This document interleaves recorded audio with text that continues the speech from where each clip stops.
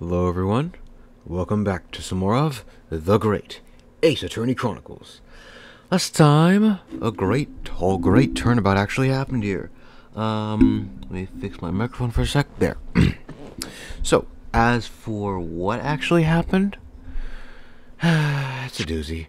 Starting off with, we we talked to the um, last three witnesses about what they saw, and as it turns out, that wasn't entirely true. Look, it well, it was true, but it could also have not have been. See, one of the witnesses found this pocket watch at the scene, and although it looks broken, we combined it with the uh, here, the policeman figurine that's actually a key for it. And as it turns out, it's a tuner for this watch. And and as we heard from Gina, um, Inspector Gregson winds his pocket watch without fail every single day. Meaning that meaning that this raises the possibility of him dying at five o'clock, not um, not on that day, but any day prior. Well, not, I'm not sure if it was any day prior, but it could. It basically, he could have been killed prior to this moment, and and we basically end up having to explain a bunch of other stuff. For example, where's the what was the gunshot that everyone heard? Well, could be someone tying a lot, of, tying a firecracker to where is it? Here, the candles at the scene. They could have just tied it there, wait, and then yeah, they could have just um tied it here then, at, then as they were waiting for the candle to dive down, they put Gregson's body there and so on and set up the scene. That way, when and then left. That way, when this went down long enough, the um the stuff would blow. The firecrackers would blow up, sounding like a gunshot, alerting everyone to the crime. essentially, the killer. We we pro- essentially we proved the possibility that the killer could have killed Gregson long before this moment and then set everything up as is now. Yeah. Anyways, it is with that that we in, we turn to what um, Gregson was actually investigating, the Red-Headed League. And when you know it, we found these two gentlemen that Sholmes was um, sent sent to the police officer, officer uh, I'm messing this up, sent to the police station. I don't know why I said police officer or whatever. And, uh, yeah, we brought them here, and apparently they have seen the man in the photograph. They've seen. Wait, I'm sorry, let me read this for a second. Uh, let me just make sure I got everything right. Yeah, yeah, yeah. Uh huh. Okay, yeah. So, they'll testify about if they met Gregson or not. So, yeah. Sorry, it's been like a week or two since I last recorded a video on this, so yeah, I'm kind of rusty. Um, forgive me if I'm not like automatically back in the groove or whatever. Um, anywho, I guess with that being said, let's kind of get started here with their testimony. The man in the photograph. We had more than 1,000 red-headed people assembled in the park on Lime Street that day. But I don't recognize them. Recall that the man in this photograph, I capo? None. I don't remember him. Obviously he's dead now, but I assure you, he was not in the park. Allora, this victim has nothing to do with us. You have a lot to answer for, Peppino. It is your fault that we got caught in the first place.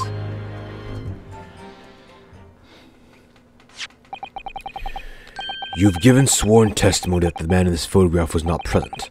Can you be certain? Oui, oui, I'm quite certain. We did not interview this man. Nobody looking looking like this I came to the park. This I can promise. It must be noted that you've been arrested for a grand deception, however. Accordingly, this court has little confidence in your assurances. With this attitude, we get nowhere. He's really a sulking now. This confidential document was obtained directly from Scotland Yard. It records an entry from the inspector's private diary dated before a day before the incident. It reads, Lime Street, Red-Headed League, undercover. Ah, I have a answer. Maybe there was another similar event in the park on the day in question, eh? That is ridiculous. There's no question that Inspector Gregson was investigating the Red-Headed League. Which means it's quite possible that when he was ki- that's when he was killed. Very well. The defense may proceed with the cross-examination now. Ah, yes, my lord. Eh, Alright. Let's see what this guy has to offer me. Us. A thousand people assemble. They will call demand the photograph.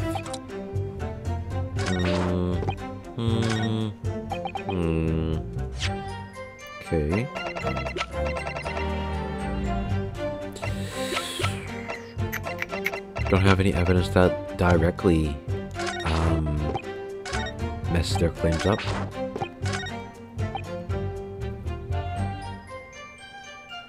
Hmm. Oh, yeah. We had more than 1,000 redheaded people on Lime Street that day. But I don't recall the man's photograph. You're gonna show you he was not in the park? How do you know that exactly? But according to what you said, you spoke with a thousand or more people that day. Yeah, how exactly do you know who was and wasn't there? It was a thousand people. We, such through, my eyes were burning by the end of the day. Surely then you can't actually remember every single face. How are you so certain that this particular man wasn't present?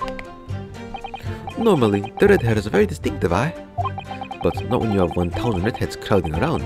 Then it's just an eyesore. But if there was some other information you could give us, maybe that we could recall. That is not the line, Peppino.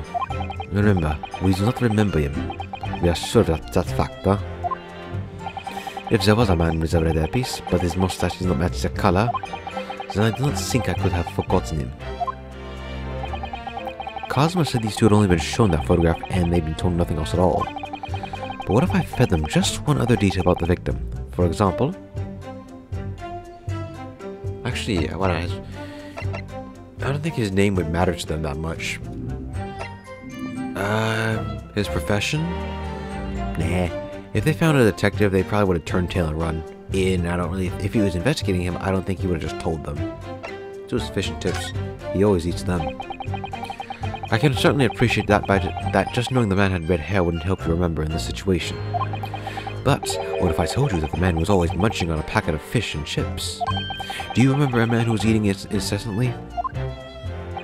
Not really. I was looking at the, heads the heads of the applicants.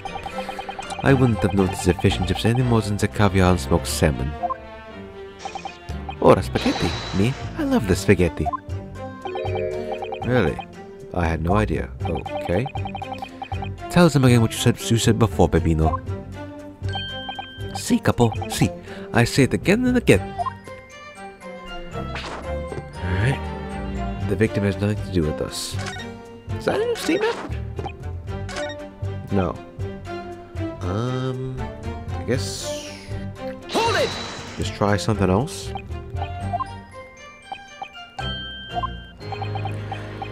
Uh, hmm. His name or his profession?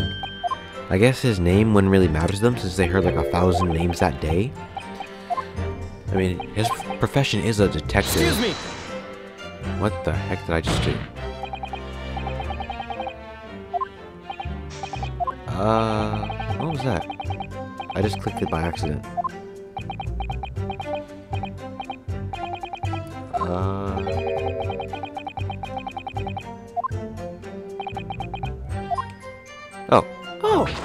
Okay. Um, all right. Let me turn back on the recording when we get when we get to the line. And we are back. Okay, good. Is it recording? Yes. Okay. Let's look at his profession this time, I guess.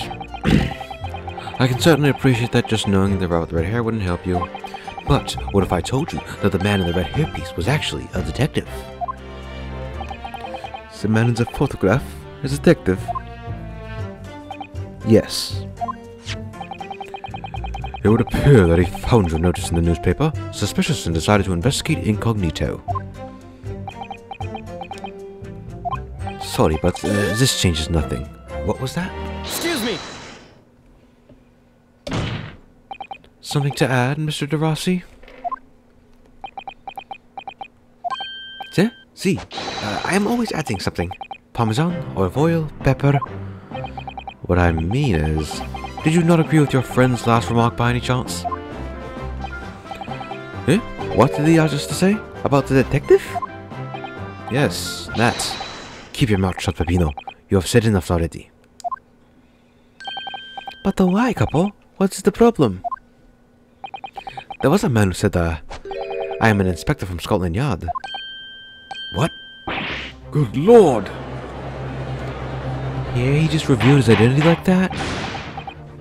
Order! Order!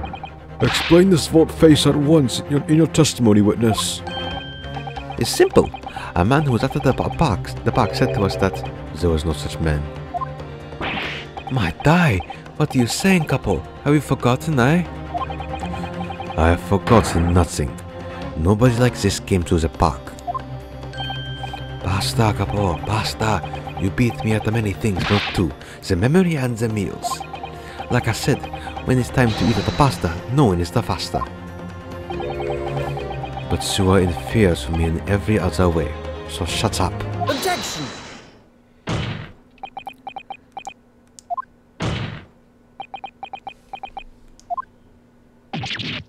Uh, Top Todd, the damage is done. Indeed it is, sir.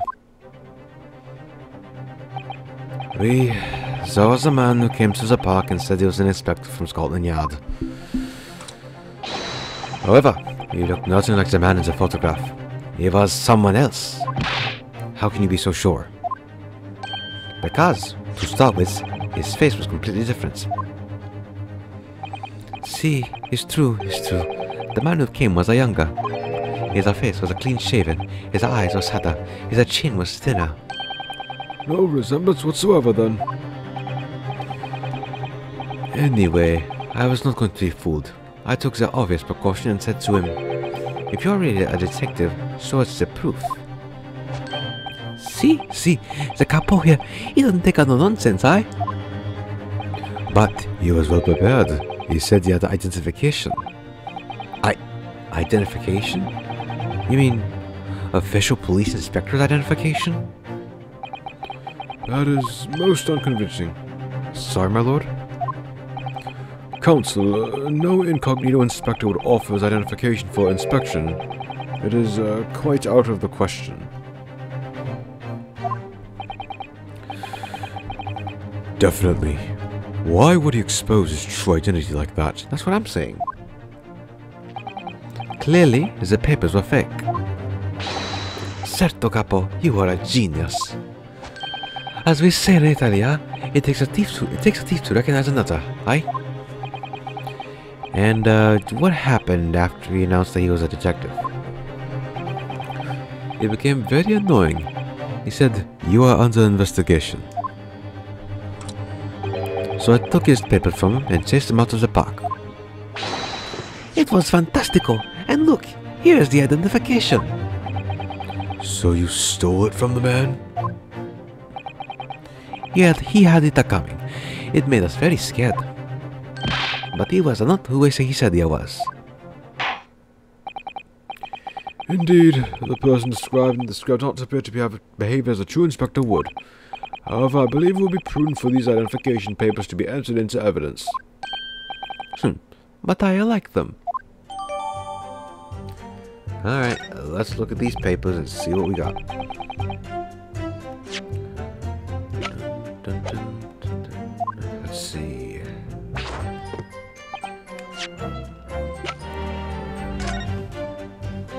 Metropolitan Police warrant card. Well, I suppose we should see what this inspector's identification looks like inside. Wow, words. Yes, it definitely looks fake, doesn't it? Out of interest, uh, what name is given? Probably just something like plucked out of the air. it's, uh, Tobias Gregson. Wait, what? This Scotland Yard insignia looks genuine to me. But how? And the department and identification number details are all correct as well. Since when have you known those? D do you mean to say... I know it seems incredible, but yes. I think this is a genuine identification book identification book issued by Scotland Yard. But that's... That's unbelievable! This is the real thing after all? Yeah? Somebody, the killer jacked his identification from him and then just used it to investigate. What? Really?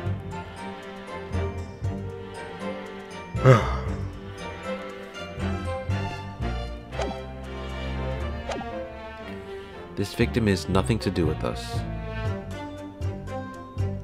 I don't think that's correct because this is Gregson's identification badge. So. Huh.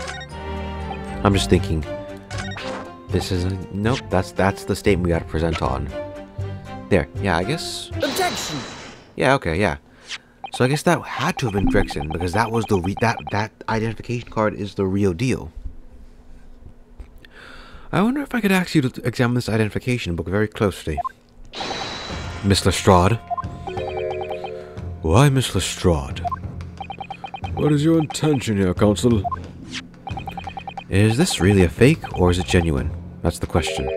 Which we can't answer ourselves. Objection! Don't be ridiculous. No Scotland Yard detective would allow his or her identification card to be stolen.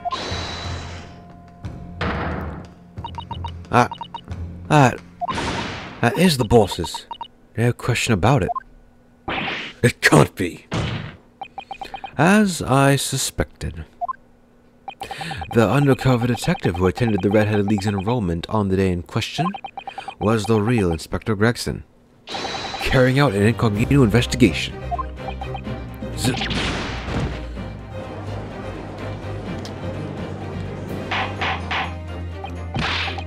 Order! Order! but if the boss had his identification stolen, he would have reported it straight away. I mean, he was always on me about it. If you lose some app, report it at once, you'd say.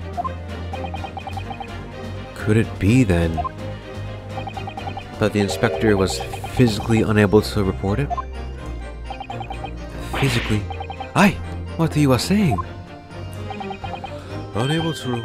You. You're not suggesting. Yes, it's quite possible that he was killed before we had the chance to report his identif- identification stolen. No!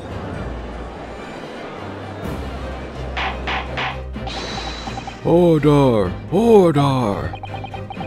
The defense posits that the victim was killed the day before his body was discovered, at a different location. Do you two have anything to say about that? Uh, he knows nothing.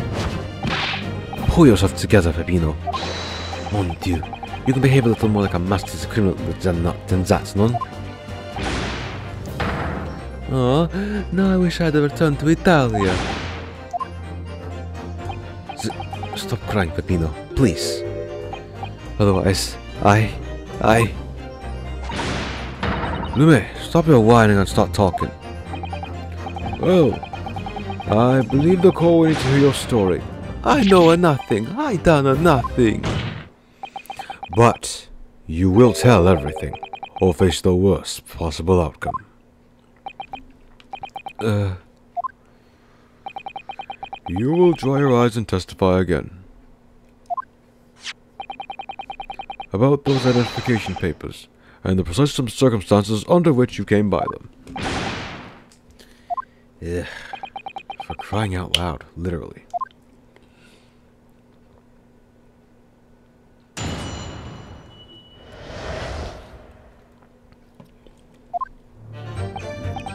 The, the truth is, we took him prisoner and kept him for the night, the night of our secret hideout. Oh yeah? You took somebody prisoner? You kidnapped him? Even though I didn't ask, think I didn't think he was a real detective. I was too scared to let him go that day, just in case. We took the man's identification from him and shot him in the room next to ours. There might have been a little tussle, but we did him no harm. And the next morning, we let him go. He spent the night in a nice room. It was nothing like a prison, really. Yeah, you kidnapped a whole man? This. This is outrageous. You imprison the man? But no, see, no, it, it was not like a prison. He was uh, uh, very comfortable and uh, calm and uh, happy. Aye, Capo? It, it was never part of my plan. I swear it. Ah, so you think it was my fault, huh? Just because I got the the ferry wrong? Just by one little a day. I do not think it was your fault, Peppino. I know it. No, no, no, no, per, per favore, capo. It is not fair. You shall have plenty of time for squabbling back at the prison, gentlemen. Ugh, I don't believe this. How could have he, he have been a real detective? Counsel for the defense. Proceed with cross-examination. So, on the day before the incident, Gregson spent the night confined in this pair's hideout.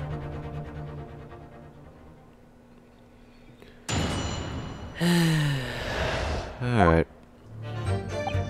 We took him prisoner. Why did you take him prisoner? Do, do you realize what you're saying? You have to believe me. I never intended for that to happen. You never intended for that to happen? How do you just accidentally kidnap somebody and put them in a prison for a night? And I'm sure the detective did not intend it either. Yes. Do, do you think? But there was nothing else I could do. See, nothing else. This was the first time. This was the first crime for the capo. He was at the end of his wits. I have told you before, Peppino, that is not the way to describe a criminal mastermind. What about this hideout of yours? An old empty house behind the park on Lime Street. We rented the place for two days. It was inspired by, it was an inspired idea by the capo here. An impulsive idea, I would say. No, no, no, not impulsive. Inspired. Aye, capo? What am I supposed to say to that, huh, Peppino? And it was on in the house described that you could find Inspector Gregson, was it? We... But you have to remember, I was under the impression that he was a pretender, not a real inspector. That doesn't quite add up though. If you didn't think the man was a real inspector, there would have been no reason to take him prisoner, would there? None, you are right. But we couldn't be completely certain.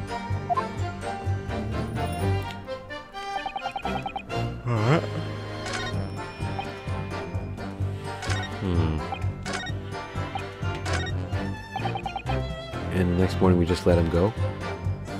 I feel like that's a lie because then how why do you how do you how do he not report his identification stolen then? Um, what do you mean by a little tussle exactly? Hmm? Well, it was nothing. Just a minor incident. The false inspector, he was a real piece of the work, aye, Capo? What happened? Ah, it was a disaster. We gave him a nice room, and what did he do, huh? In the middle of the night, he tries to escape through the ventilore. Wait, what did I just say? Ventilore. Wow, that is... That actually sounds bad. Wow. Vent... What's it? Ventilatore. There. Wow, ventilore. That's gonna be one of my bad moments. Can you blame him? We chased them, bien sur, and we caught them again. Can you blame us? Wait, you... You didn't... Shoot the man in your haste, did you? Who do you think we are? Of course not. I simply cut caught, caught hold of him again and took him back to the broom. What was that? Excuse me! You, you have a high voice? What? I didn't know you had a high voice. Seriously? Mr. De, Mr. De Rossi, Mr. De Rossi, is something wrong? I? Me? Something Mr. De, Ro- Mr. De Rousseau said seemed to make you, uh, hmm, well, it seemed to make you act even more strangely than usual. What was that all about? Cavolo, at times like that, you don't want to have the capo after you, believe me. And I speak from a personal exp- experienza. Personal experience? That is enough, Peppo- Pepino. There is no need to say any more. The truth is, the night before we put on the red-headed league plan to action, I was scared. It was not a fair to the capo, but I, tr- I tried to run away. It's a shame you manage it. But the capo here, he came after me like a turbine, huh? And he dragged me back to the house, kicking and screaming. I still have the bruises to prove it. I capo. Bruises, you say? Aye, you want to see, huh? You want to see my fantastic uh, bruises? That's enough, my Peppino.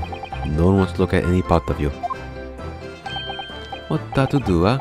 I assure you or I don't. I assure you or I don't. You do. Now. Jeez, Cosmo. Allora, if everyone wants to see, then I do it. Ecco, you see, it's still a very visible, huh? huh? That. That red ring around your neck? You got that when you were dragged back to the house? See, the capo sometimes is very rough. I said that's enough. Peppino's neck is nothing to do with what we are talking about here. You have my word. Hmm. Yes, uh, what is your opinion, Counsel? That, my friends, is very important. Mr. De Rossi, I'm gonna have to ask you to amend your testimony with details about that mark on your neck. As for why, well, you'll see later. Aye, capo, you see? Everyone is interested in what I say, huh? Ugh. Very well. You will amend your testimony as requested, Mr. De Rossi. And that, my friend, is what we need. He tried to escape, but he put him like that. But if we look at the picture, there, there ain't no mark on his neck. Completely clean. Objection! There's a discrepancy there. So, the day before the body was discovered, Inspector Gregson was taken prisoner while working incognito. None, none. It was not like that. It was hardly a prison. It was an invitation to stay. It was only. However you describe it, there's one glaring inconsistency, inconsistency that remains. What inconsistency is this, Counsel? I would ask the court to look closely at this photograph of the victim, Inspector Gregson. You will see that there is no red ring visible around his neck. Eh? But that, that makes no sense. It was me who took out the collar off the man in question in the morning, and I saw the red bruises on his neck, just like I have. Given that the mark is still clearly visible on this witness's neck, we'd expect to see bruising on the victim who was put in the collar more recently than Mr. Ross De Rossi. Uh, indeed. That is most peculiar. But we, we tell you, huh? Huh? We say this from the beginning, many times. We, Peppino's right. The man in the photograph is someone different to the man we held captive at the night. He's right. It is someone different. Order! Order! It would appear, then, that on the day before the incident, the man who visited the park on Lime Street posing as incognito inspector was not Inspector Gregson at all. Objection! If that's true, however, how do you explain the inspector's identification? This is a genuine identification book issued by Scotland Yard. It's inconceivable that someone could have stolen such an important item from the inspector. The prosecution made up that assertion itself. and we also know that the inspector had a note about the Red-Headed League in his diary for that day. Which surely means we can't divorce the two events completely. The inconsistency noted by the defense is most troubling. If it were the real Inspector Gregson who these two red-headed gentlemen encountered, the fact that no bruising can be seen around his neck defies explanation. But equally, if they actually encountered an impostor, how did that person come to it and be in possession of the real inspector's identification? Does the defense have some plausible explanation, counsel? This whole thing defies explanation. It is for precisely these occasions that we keep meticulous notes in the court record, Mr. Naruhodo. Because those are the facts, and the facts cannot lie. No, the facts can't lie. Even when they point to something so incredible, it's almost unbelievable. And truly, it is. Well, my lord, the true identity of the person who turned up in the park for the Redhead League's enrollment is revealed by information in the court record, I believe. Good gracious! Very tantalizing, Mr. Naruhodo. So, why don't you help us all to see whether whatever truth it is that you apparently seen? Who exactly was this inspector that appeared before Mr. Rosso and Mr. DeRossi? An impostor. Though it seems incredible, I admit, the undeniable facts prove to only one thing. Since no bruising can be seen on the victim's neck, the person who these two headed men took over that day can also have been Inspector Gregson. In other words, your whole argument up to now has been a waste of time. Objection! On the contrary, I haven't finished. What? There's no bruising on the victim's neck, so the question immediately posed next is Who exactly was the man in the park on Lime Street found to be carrying Inspector Gregson's bi- identification? See, see, that's right. We tell the same story every time.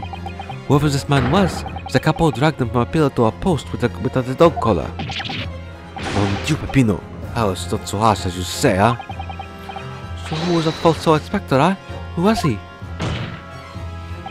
Clearly, the defense has an idea about that. About the true identity of the man posed. These two imprisoned that night. Posed? Where did posed come from? I must ask for the count of the defense to elaborate post haste. Who did the witnesses encounter the park posing as Inspector Gregson? Well, They actually mentioned this a lot earlier on in the case. You just wouldn't notice it. Um, if we scroll through the court record, there is only one person here that has a verifiable red ring around his nose. Gossip, as you can see. Take that! goodness me! Is. Isn't that. One of the witnesses who was in the stand in this very courtroom earlier today. A nameless man who only occup- whose only occupation appears to be peddling hearsay to passers-by. Objection! What on earth would a street seller be doing with the police inspector's identification papers? Witnesses, is this the man or not? What has happened to his lip? Ah. See, this man is not for the Red Hill League, ah? He's looking for the Twisted Lip League, no? Perhaps rather than making such a rash claim next time, you should bite your you should bite your lip instead. It seems improbable, yes, but one undeniable fact remains. During his testimony earlier, I noticed something around the man's neck, a red ring of bruising. Eh? What? The defense demands that Mr. Goss be brought back to the stand. Hold on, hold on. Bailiff! Bring the aforementioned witnesses back to the courtroom. Immediately.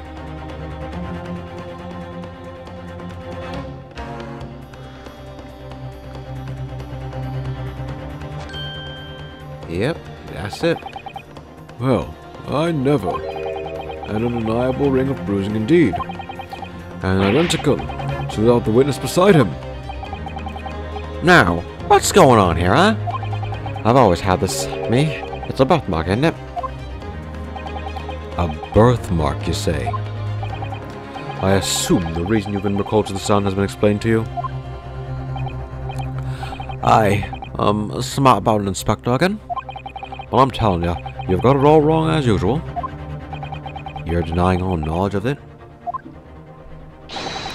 Well, of course I am. Are you trying to kill me with all, kill me with all this nonsense, huh? Well, at least you'll have more stories to peddle on back on back on Fresno Street, won't you? Now, we're going to need you to testify again.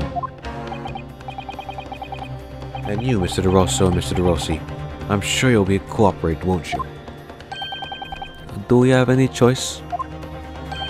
We are in the bigger trouble, eh, couple? That's quite enough dilatory chatter. Proceed with the testimony. Alright. Let's say what we got.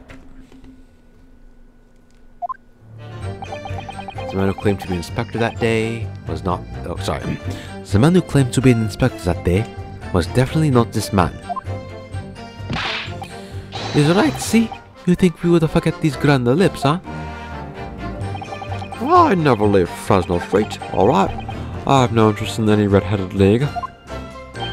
I'm all alone in the world, me. I have no kinfolk or nothing. Why would I be involved in something like that? Just look at me, huh? Does it look like I could carry off a disguise with a face like this?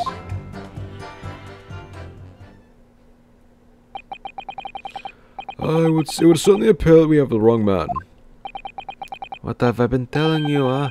There was no need for this pointless testimony. Ugh. That's right.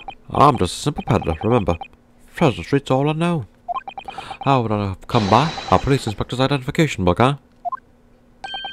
Well, yes, that's hard to explain, but... a brief cross-examination, I think, counsel. Very brief. Ugh. Isn't there any, isn't there anyone in this courtroom who thinks I might be onto something? I stand steadfastly at your side, always, as always, Mr. Naruhodo.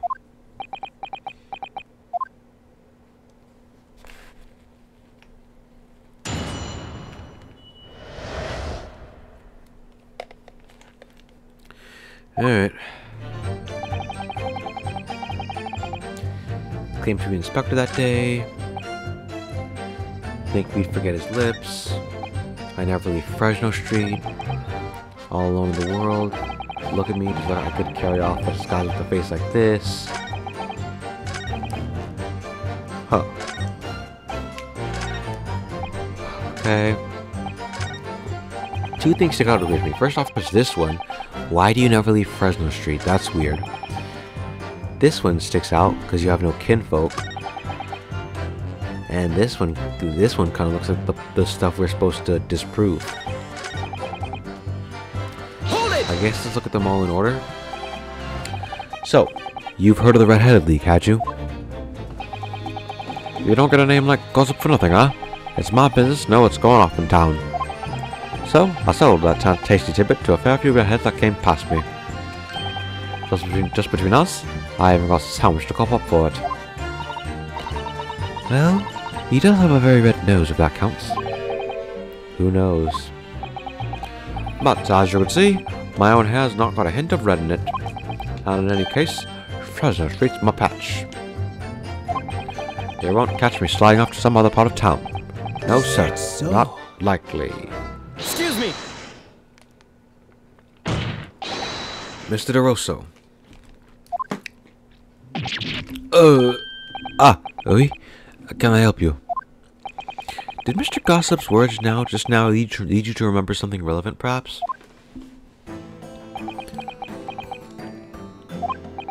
It was the other day when I was looking for a place near the park, a small house or something.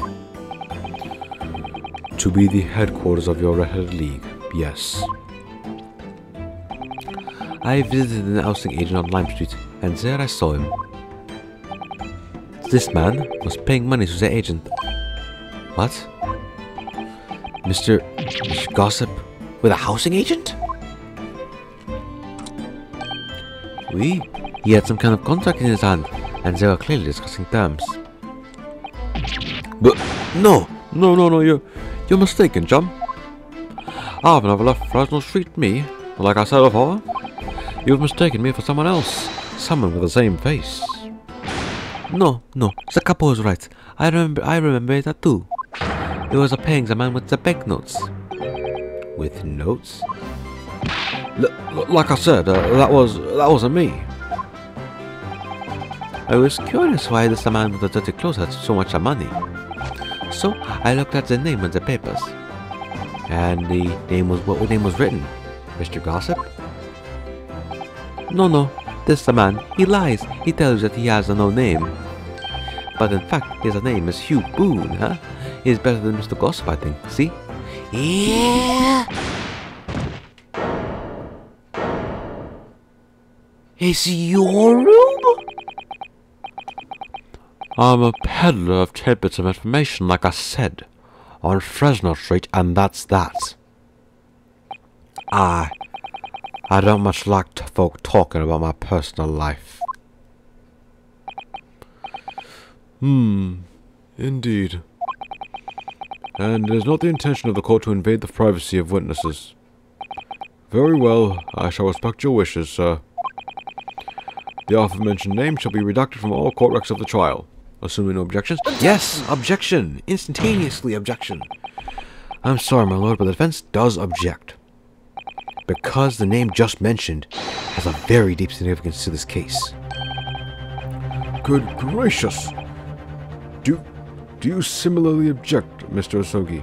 Prosecutor Asogi? As it happens, my lord, that particular name has already been mentioned during today's proceedings. Well, I never. In what capacity? Hugh Boone. The name of the leaseholder of the room. Let me put this very simply. The, the, the, victim's body was discovered in your rented room. I suggest, sir, that you stop talking. Well, alright. I suppose that might be the case, huh? Aye.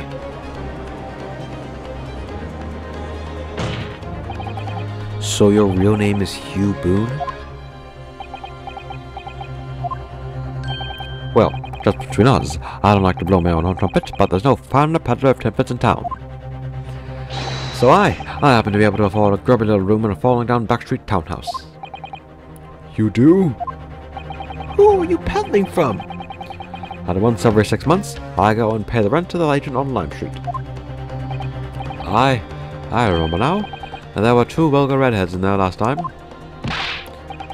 Aye, if either us is a vulgar, is not a me. Sink again, Peppino. Why didn't you bring this up before? It's like I told you already. I don't like talking about my personal life. I'm a tidbit peddler as far as everyone else is concerned. No fuss. You will update your testimony to include this most surprising revelation, Mr. Boone. You know, why do I keep thinking of the sexy Boutal? Laf- Lafcadio Boone. Like, seriously.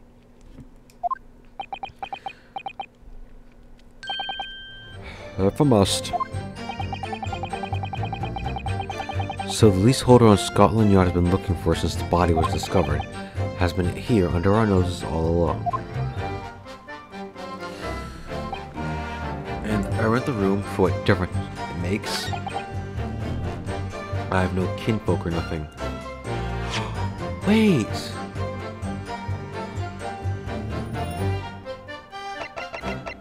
Where was it? It was some. It was one of the stuff we found in the room. Uh, we found the candle. This, this, this. Yeah, Miss Vigil was in the thing. oh, but he didn't have no kinfolk. That's not true. Objection! If you have no kinfolk, as you put it, then explain why, why is that among the sparse among the sparse furnishings we found this photograph in the room. Ah. I presume as you've been renting the room that this photograph belongs to you, does it not? Oh, um, well. Mr. Boone, drop the pretense and tell the court exactly who you really are. I, I, I don't know what you mean. I'm a peddler. I, I keep telling you so. You really don't need to bother with me. Please, just, just leave us alone. As the man says, leave us alone. Whatever the truth about this is about this man's life, it has no bearing on this case. Because it's simply not possible that he impersonated Inspector Gregson. Objection! How can you be so sure? Just look at the man. No amount of disguise could ever hide those un unmissable features. Objection! But what if we were to look at this the other way around? What do you mean? Yes, Counsel, uh, what do you mean? Well, there's no denying that Mr. Boone's lip is very prominent indeed. But consider the possibility that his prominent lip is itself part of an elaborate disguise. then, hiding that prominent feature, in other words, revealing his true face, would make an utterly impenetrable disguise. Wouldn't you agree, Mr. Hugh Boone? Ah. Good witness. Are you still hiding the truth from us, from this court? If, if that's a disguise, then underneath it, his true identity must be. Yes, that's right. There's really only one person you could really be. My lord, the defense believes it can reveal Mr. Boone's true identity to the court. No. Please, no. Very well then, Counsel. What is the true identity of this peddler who goes simply by the name of Gossip on the Street? Well, it'd have to be Daley Vigil, which, which actually, funnily enough, funnily enough, Gossip actually looks like him. Like, if you look at the hair, they still have the swirly hair, swirly hair. The eyebrows that are like, they have like those cut up lines. He kind of has them too. Um,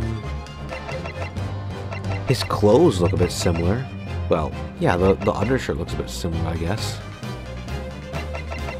Yeah, Take that! that's actually a clever way of looking at that. Your real name is actually, uh, Mr. Vigil, isn't it? Mr. Daley Vigil. Uh, I don't recall that name, Counsel. Uh, who is this Mr. Vigil? It's not my, it's the name I encountered yesterday, my lord.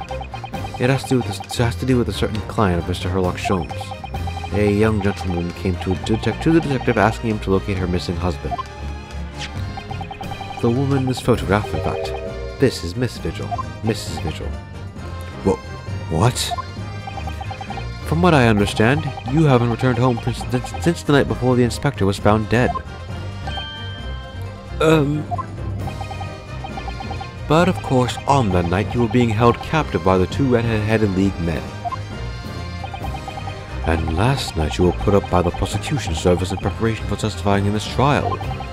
Because we've been led to believe that you, Miss Venus, and Mr. Sound were all homeless. Being important witnesses in this case, we need to know where we could find you, of course. And that explains why you've not only been unable to return home, but also been unable to contact your wife who've been beside herself with worry waiting for you at the Vigil residence. Now, now you just hold on a minute. I don't know the first idea what I'm talking about. Really? It's a simple matter to confirm my suspicions. All we have to do is pull off that disguise. no, no but, but please. Bailiff, bring soap, a sponge, and a washboard at once. Mr. DeRosso and Mrs. Rossi, you will restrain the witness. Oui, my lord. See, my lord. Yeah? No! Stop! Get off!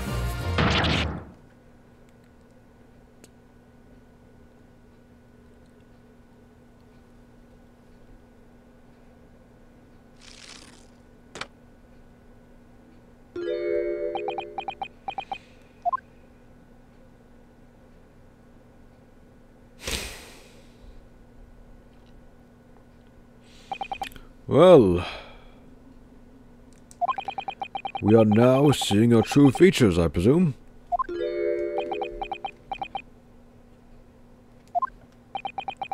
Lift your head, sir, so the court can see your face.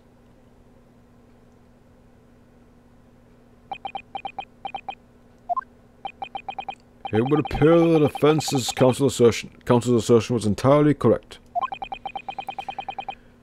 This has all been a very elaborate deception.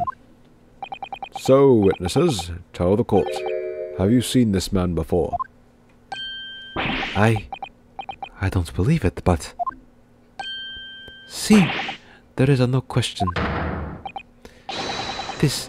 This, uh, this is the inspector we saw in the park. Extraordinary! On the day of the Redhead League enrollment, the man claiming to be Inspector Gregson who appeared before Mr. DeRosso and Mr. DeRossi in court in the park. Was you disguised as the inspector, or rather, was you posing as the inspector in no disguise at all?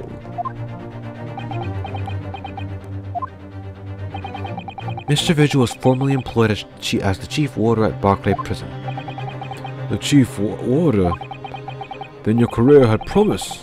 Why, you would quite have possibly become the future governor of the prison. What on earth would you have been doing, doing peddling tittle-tattle on Fresno Street?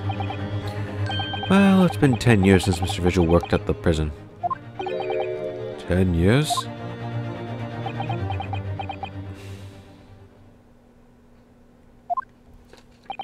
I'm... I'm really dreadfully sorry about all of this.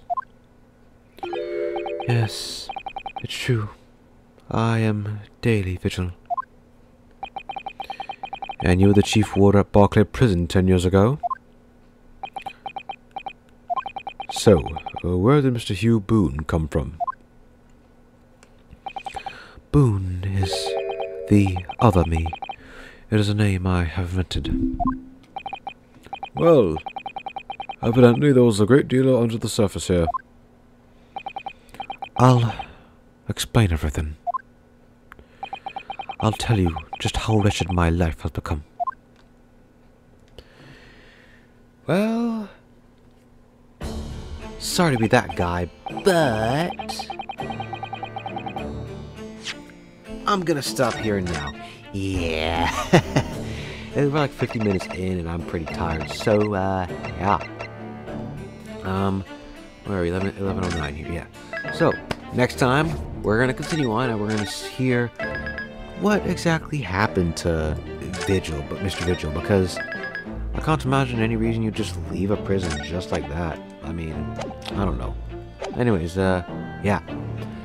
Thank you all for watching, and I'll see you all next time.